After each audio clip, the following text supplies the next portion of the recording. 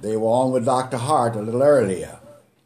And of course, I am Pastor R. L. Davis of the Corinth Baptist Church in the Chapel Hill area of the city of Tyler, Texas. We welcome our Facebook family and all of those who are on the prayer line. Amen. Trust on this second Sunday in uh, July that you are faring well with the hot weather here in Texas and with the coronavirus, COVID 19.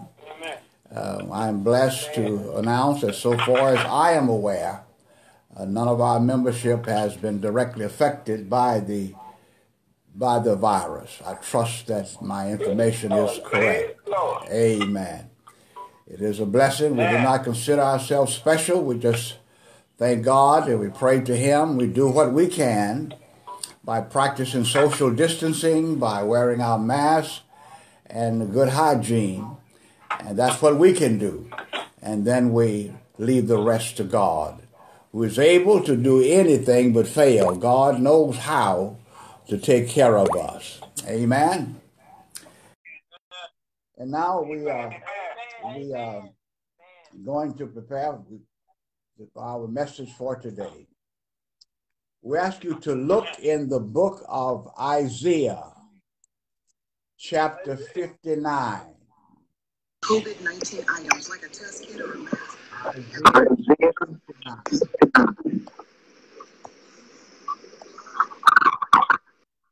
want to focus on verses 1 and 2. Now, we're going to read verses 1 and 2, but we're going to talk about chapter 58. But we'll read for your hearing verses 1 and 2 of chapter 59. Isaiah chapter 59. It reads, Behold, the Lord's hand is not shortened that it cannot save, neither his ear heavy that it cannot hear. But your iniquities have separated between you and your God, and your sins have hid his face from you that he will not hear. Amen. So reads the word of God. The grass withereth and the flower fades, but the word of God shall stand forever. Ah. From this text, we want to talk from the subject of trying to serve two masters. Trying to serve two masters. And that's God and sin. Serving God while holding on to our sin. Sound like something we're doing today. Amen. In in in chapter 58, uh, the Lord is acknowledging that the people, his people, Israel, was seeking him daily and were delighted to know his ways. This is verse 2. As a nation and did righteousness and forsook not the ordinances of their God. They ask of me the ordinances of justice, and they take delight in approaching to God. He said they fasted like they were supposed to fast.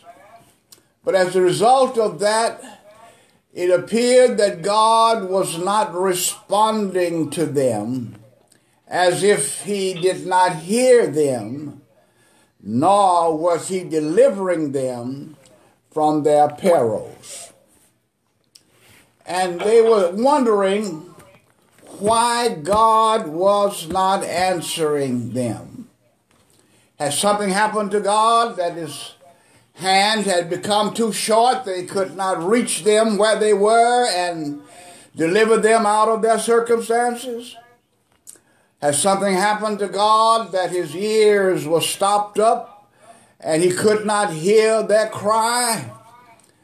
That appeared to be the question ringing in the minds of the Israelites. And God answers it in chapter 59, verses 1 and 2, through his prophet Isaiah. Isaiah told them, Behold, the Lord's hand is not shortened, that he cannot deliver you no matter what your circumstances are, no matter where you are, no matter how powerful the enemy might be who's pressing against you. The Lord can reach you wherever you are, and he still has the power to deliver you. Amen. To answer the question, does the Lord hear our cry? Is he hearing us? He said, yes, the Lord hear. Nothing has happened to it.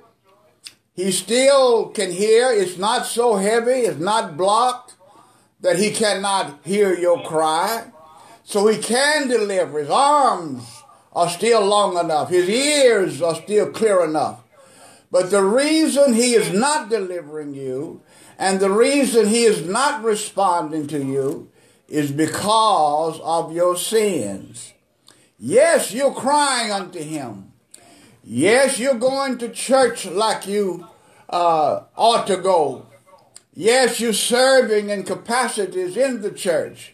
Yes, you're doing all of these things. You are sharing your talent and your time and your treasure you're doing all of that, but at the same time, you're holding on to your sin. And the fact that you're doing these things are blocked out by the fact that you are still holding on to your sins. The question, the question is, why were they, why were they holding on to their sins? Why were they? There are a couple of reasons why. Number one, the things that they were doing and saying or not doing, they did not recognize as being sin. Sometimes you can do stuff that's wrong so long until it appears right. Sometimes the things you do does not appear wrong because, quote, everybody else is doing it. God does not set his rules and agenda based on what other folk are doing. God is sovereign. He knows what's right and he sets his agenda, his rules based on righteousness. So whether we recognize it as sin or not, in God's eye, like in the eyes of the law, ignorance of the law is no excuse. Uh-huh. So sometimes we have been so caught up in our sin and been so involved in it until it just does not appear to us to be wrong anymore. It doesn't seem to be hurting anybody. So why is it so wrong? And anyway look like God take all of the pleasurable things in life that gives us joy and pleasure and a sense of well-being and he puts a, label of sin on it. And he does that, it look like it takes away all of the joy out of our lives. So they were holding on to their sin. They gave up some sins, and sometimes those of you in the church today, you have given up a lot of sin. But there are some sins you still hold on to. And you're trying to serve God and that sin. And the Bible is declared that you cannot serve two masters. No matter how skillful you are, no matter how much you love the Lord and love sin, you cannot serve two masters. So, one of the reasons why they hold on to their sins is they don't recognize it as being sin because everybody's doing it. And I've been doing it so long that it doesn't seem wrong in my sight. The second reason that we may not uh, uh, want to hold on to our sin is because we think in our heart that we can live over our sin. We know it's a sin, but we can live over our sin. And we do that by trying to put on the new man without pulling off the old man. Ah, we, we, we, we, we, feel like that I can do right. I can do all the things I'm supposed to do as the new man and still have the old man under there. The Bible says you cannot do that. You cannot put new wine in old wine skins. You got to make a choice between God and your sin. The Bible says that we need to pull off the old man first and then put on the new man. But that means get rid of all the sin and get rid of all the evil and iniquity and then take on in this place the righteousness of God. Ah, but there are some of us, some of you, who want to put the old man on. It's just like taking, coming out of the field of work all dirty and sweaty and what have you, keeping your old dirty clothes on and putting new clothes on top of them and go out as if everything is all right. If you do that, those old clothes and dirt is going to come out through the new clothes and folk will still know you're dirty. So some are trying to put on the new man. They want to do what's right. Amen. But they they're having trouble giving up uh, some of the sin. Now there's some sins we don't have any problem giving up. There's some we don't uh, see that's so wrong and bad in it. But but there's some that we just not we some some of the, y'all have trouble giving up some of the sins. You hold them close to your heart, and you want to put on the new man over it, and that's why you hold on to your sin. Another reason why they say that uh, we hold on to our sin is that we are doing what is right what God requires of us, but we're doing it for the wrong reason. We've got an ulterior motives for doing it. One preacher friend of mine said that uh, when he was younger days, he went to church every Sunday, and he participated in all the church's activities. But it wasn't because he was so interested in the Bible and church. He was interested in a little girl that was also there at church. And he was doing what he could to impress her rather than God. He was doing what he should have been doing, but he was doing it for the wrong reason. And I believe that's the case in a lot of brothers out there. Got caught by the Lord while we were there looking at somebody else. So they were doing what they were doing, receiving the praises of men, but they were doing it for the wrong reason. They were doing it for to be received the praises and the honor and the recognition of their fellow man. And the Lord said, when you do that for that reason, you have your reward from those you're trying to impress, but you do not receive a reward from Him. So those are some of the reasons why we try to hold on to our sins while we serve God. But then there's some other reasons. Because sin is a terrible thing. It it it it it, it it's just terrible. God hates it. It's it's a stench in God's nostrils. And uh, it's a terrible thing, but we still hold on to our sins. It's an old problem that that that plagues us. It has plagued us from the beginning of time since Adam and Eve, and is still plaguing us now. David suffered from the sin, and the same sin that trapped David is trapping men right today. So sin is a terrible problem. But why do we? What are some of the other reasons that we hold on to our sin? What? Well, it'd be number one we actually love sin. We, we don't hate sin, we love sin. We like it, we know it, we're familiar with it, we grew up with it. Sin's been a part of our lives ever since we were children. We were born in sin, shaped in iniquity. So we know sin. We're familiar with sin. We grew up with sin. We're comfortable with sin. We saw everybody doing some kind of sin. So because of that, we think sin is not all of that, that bad. Especially when we do it. Now, now when, when, when we see somebody else doing it, and we see somebody else failing to live up to God's righteousness, we think that's horrible. That's that's terrible. That's a disgrace. That's as we say, that's a sin and a shame. But when we are doing it, we say, really, listen, it's not really all that bad. After all, I'm just human. So it doesn't seem so bad when we're doing it, but it's a horrible thing when I see somebody else do it.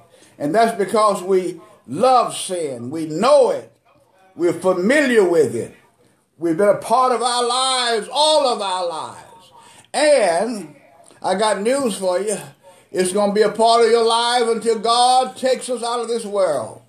Because sin is all in our members. And when God saved you from the consequences of the penalty of your sin, He did not take the sin nature out, He left it there. He did put the Holy Ghost in to help us to deal with it, but He did not remove it. So you are going to be troubled by sin the rest of your life. We love it. Another reason why we love sin is sin makes us feel good. Well, now, I really don't know about this, but my brother told me that, that when he was out there sinning, he enjoyed his sin and he couldn't see nothing wrong with his sin. And there were folk who came out in the world uh, to try to get him out, and they joined him, and and then he said, "Well, now it's time for us to quit this." And he said, "Well, listen, if that's why you came out here with me to get me to change, you wasting your time. I love what I'm doing. It makes me feel good." You know, if sin didn't make you feel good, you wouldn't do it. So sin is enjoyable. Sin is pleasurable. Sin gives us a sense of being somebody. Sin gives us a sense of uh, accomplishing something that some folk cannot do. You know, the Bible says stolen waters is sweet. Sin tastes good in our mouth. It makes us feel good. It's another reason why we hold on to it. Sin feels good, makes us feel good. We know it, we're familiar with it. And then it helps to, third, it helps to address a deep craving in our soul. There's something in us that we seek to satisfy. There's a craving to fulfill a desire in our spirit and we try to fill it with things that are displeasing in the sight of God. Some try drugs, some try sex, some try power, some try education, but this void can only be filled by God. But we try to substitute other things to fulfill this deep craving that we have inside of us for something that's outside of us. So sin helps and tries to address that, never being successful in doing it. But yet it causes us to love sin because it tries to address this deep craving that all of us have that can only be filled by God. Then another reason why we love and hang on to sin is because sin's chief promoter never gives up on us. That's the devil. He he never gives us. He always tried to flash opportunities before us in order for us to engage in his business of sin. We don't sometimes you don't have to look for sin. Sin come right and uh-huh. look you dead in the eye. You don't have to look for opportunity to sin. Opportunity prayed itself in front of you. All you got to do is reach out and take it. So sin's promoter never gives up on us. Sin's promoter keep flashing what he knows we like in front of us to encourage us to participate in it. Now, if the promoter of sin knows you don't like drugs, he will not try to parade no drugs in front of you. He parades stuff in front of you that he know you are you are you love that you have a weakness for that you can be tempted by. And that boy Satan never gives up on us, and he's always on his job 24 7. He'll wake you up in the middle of the night and give you ideas about sinning. He'll wake you up from your deep, sweet sleep in order to offer you an opportunity to sin. So these are reasons why we hold on to our sin. Why, why should we give it up? Why should we give it up? First of all, it displeases God. And whatever displeases God, we ought to be willing to give up. If it causes God to not deliver us when we're in our peril, if it causes God not to hear us when we cry unto Him, we ought to give it up. We should not allow anything to come between us and God because God can be a great benefit to us in this life that we're living in today, and God is the only one who can carry us over to the other side. So Amen. there are reasons why. Number one, it offends God. Second of all, sin hurts us. Yes, it feels good in the mouth, but it sours when it gets to the belly. Sometimes when you engage, I heard when you engage in your sin, you enjoy it. As soon as it's over, you wish you hadn't done it. So sin hurts. It hurts us. It hurts our sense of dignity to ourselves. And it hurts somebody else. Especially if there's somebody else that the sin is causing to lose confidence in us. So sin hurts us and sin hurts others. Then sin, I understand and I heard that it causes us to take enormous risks of our lives, of our well being, of our family. It causes us to take risks that a normal, sane person would not take. We take great risks, put so much at stake, for such little gain. And the gain that we receive is only temporary. Sin does not last, no matter how enjoyable it is. Ten minutes after you finish sinning, you can't tell you have sinned. There's no lasting benefit in it. But yet, sin causes us to put everything on the line in order to delve in it our life, our reputation, our families, our jobs, our good standing in the community, and most of all, our relationship with God. So sin is hurtful. It hurts us, it displeases God, causes us to take great risks, and then it causes us regret.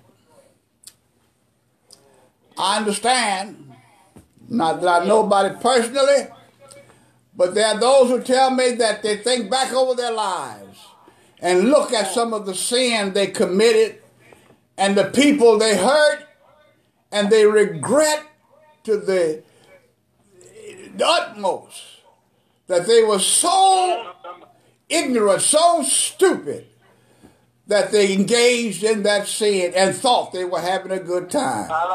So sin causes great regret to us.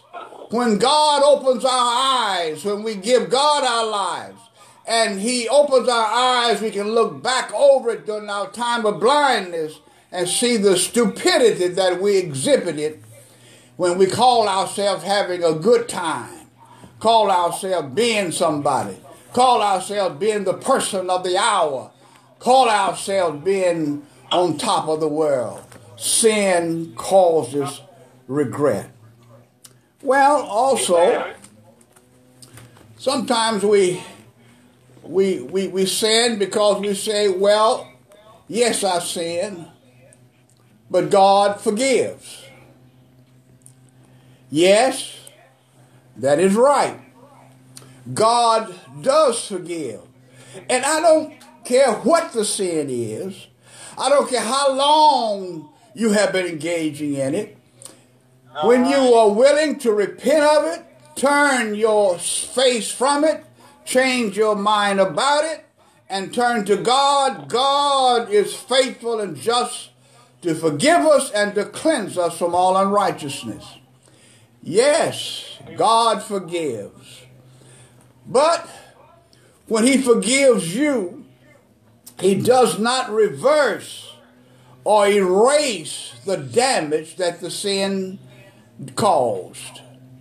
For instance, in your rage of anger, you kill somebody. Yes, that's a sin. The Bible said, Thou shalt not kill. You murder somebody. You can cry out to God and God will forgive you for that. But the person you shot and killed are still dead. God does not reverse that action. The family of the person that you kill still will be suffering from that the rest of their lives. If they had children, they'll go up without their father, and that will never be changed. God forgives you, but He does not reverse the damage that was caused during your sin. So that's a good reason why we should not sin. Yes, God is faithful to forgive us, but He doesn't change what happened. Lord have mercy. He does not change what happened. So that's enough for us to forgive.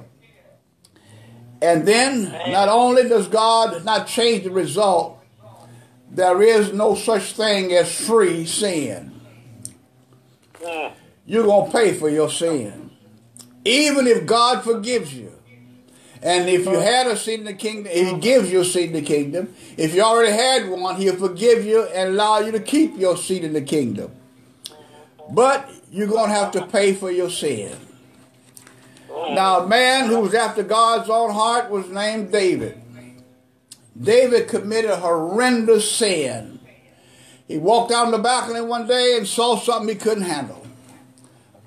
Saw a beautiful lady bathing, and he sent for her. And she came. And they got together, and she became with child. And then David sought to pin the child on her husband. But that didn't work. Then David had a husband killed. And then brought the woman into his own home and married her. He did that. That displeased God. That hurt Uriah's family. Killed him. It hurts David's image in the sight of those who were aware of what's happened. God forgave him, but then David had to pay for it. Yes, the child died.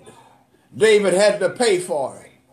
Yes, he had trouble in his family. One of his sons raped his daughter. Yes, David had to pay for it. Another son rose up and killed the son that raped his daughter. Yes, David had to pay for it. Another son rose up and turned against David and tried to run him off the throne, and David had to run and hide from his own son. Yes, David had to pay for it. It does not matter who you are. And David was a man after God's own heart, but he had to pay for his sin. Yes, sin displeases God. Yes, God will forgive us for our sin, but God does not reverse the damage that has been done and you're going to have to pay for your sin. You cannot serve sin and God. God does not allow himself to compete with anybody. He's God all by himself. So God will not tolerate being in competition with anybody for our souls. But God is loving. God is forgiving. And God is caring. And God is plenteous in mercy and grace when he was when you were sinning and God held his hand over you. It was not because he was endorsing your sin. It's not because he was going along with your sin. It's not because he was too weak to stop you from your sin. He was giving you time to come to yourself. So you could realize how foolish that you were. Realize that sin is not fulfilling, that sin is not uh, what it, it appears to be.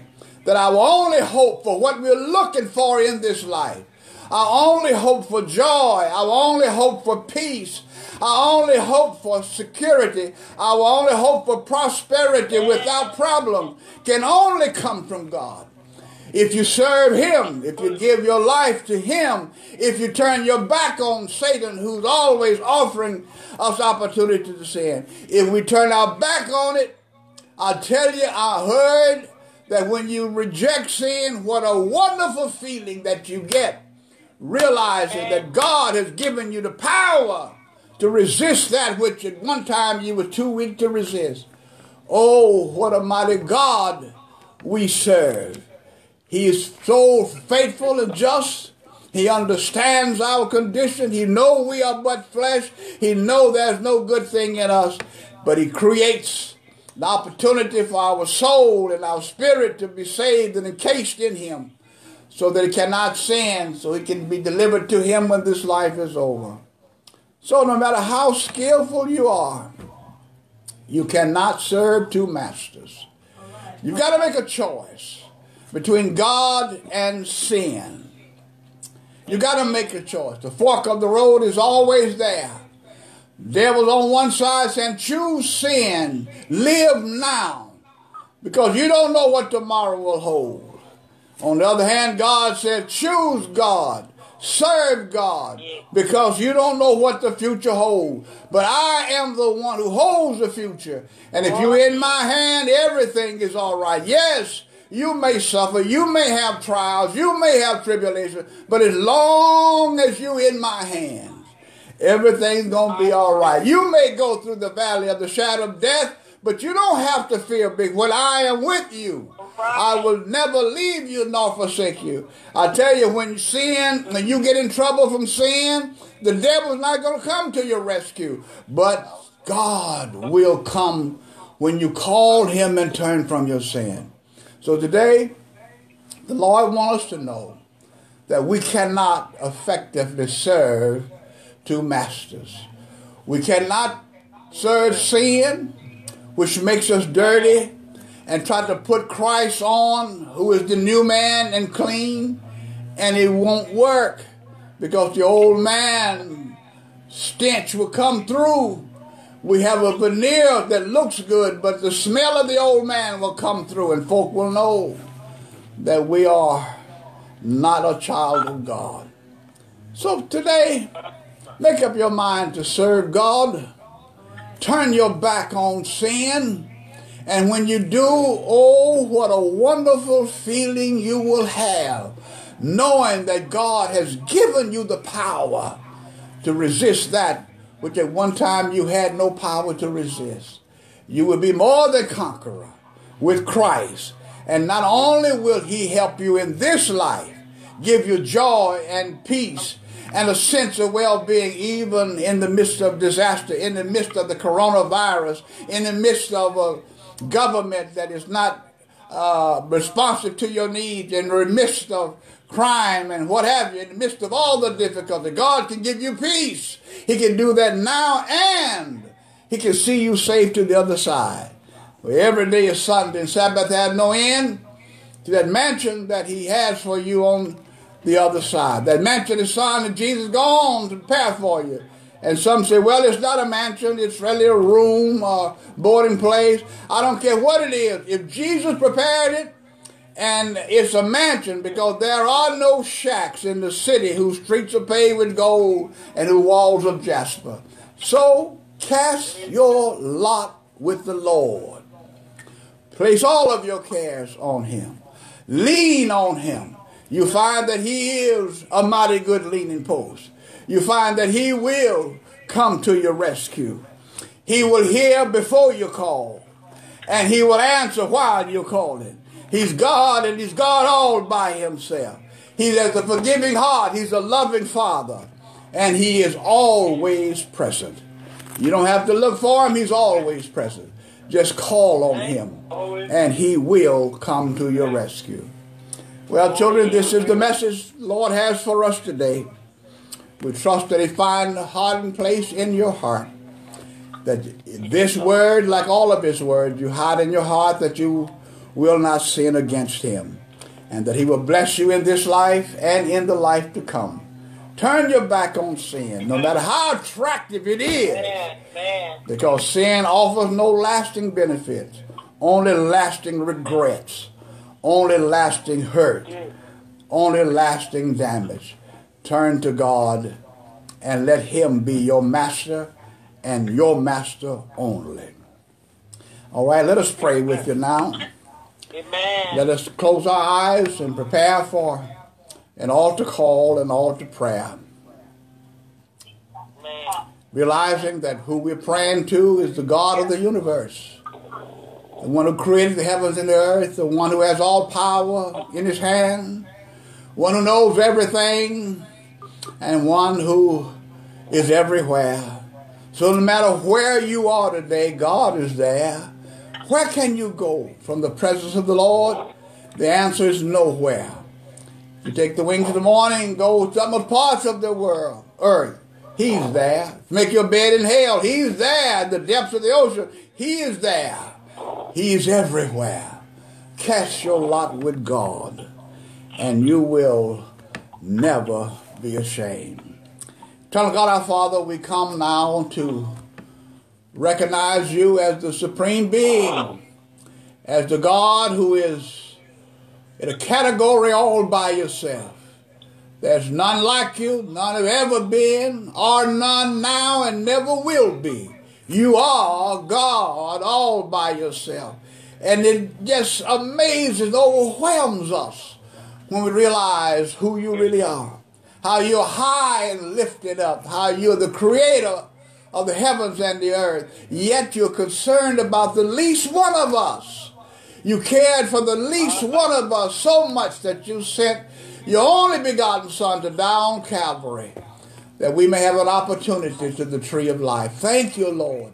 All we can do is bow in humble submission before you and express our gratefulness to you that you covered us long enough while we were in darkness to let light come into our lives so we could turn from our evil ways, cast off sin and sinfulness, take on Jesus Christ, your Son, that we might be pleasing acceptable in your sight, and to serve you through him the rest of our life. Thank you for making it possible for each one of us.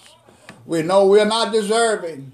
Oh, but how we thank you that you accepted us with our chips, cracks, and broken places in our lives. We we bless your name today. We honor you. We magnify you.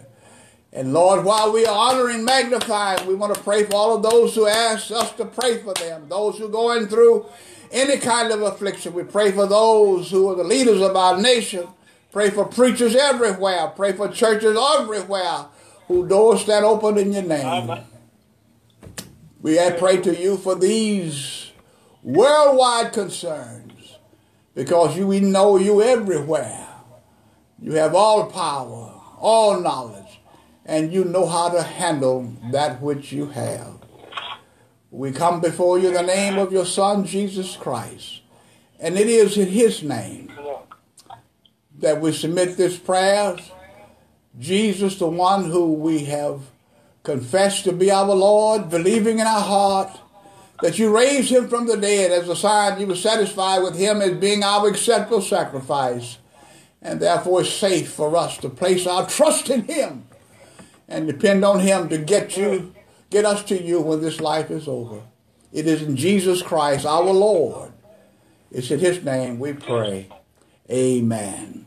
Amen. Amen. And God bless you and God keep you. If you wish to give to the Lord through this ministry, you can do it by using the Givelify app. The Corinth Missionary Baptist Church is 2774 County Road 236, Tyler, Texas. Or you can use the, mail it in to that same address, eh, 75705 in Tyler, Texas. God bless you and God keep you. shall ever be our prayer. Amen. Amen.